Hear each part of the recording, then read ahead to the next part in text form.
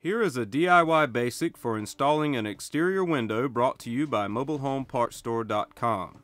The tools and accessories you will need are a power drill, a quarter inch hex head bit, a level, a putty knife, 3 quarter inch putty tape, and 1.5 inch hex head screws. Make certain all mounting surfaces are clean and securely fastened and flat around the perimeter of the rough opening.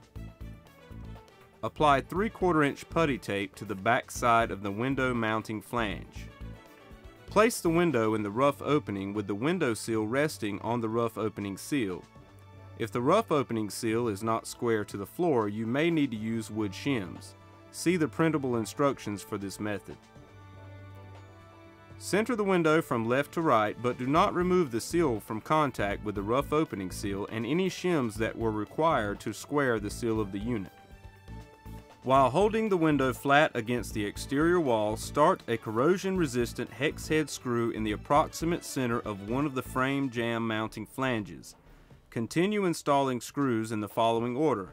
Center of opposite frame jamb, center of head, and center of sill. Recheck the window to be certain it is centered from side to side in the opening and that the window frame members are straight and the frame is square. Check to ensure the window operates properly. If it does not, remove the screws and reinstall. Continue installation of the rest of the screws, starting in the center of each member and progressing out to the corners. Do not overdrive the screws, to do so will unduly deform the window frame and compromise the seal. You now have a new exterior window installed in approximately 30 minutes.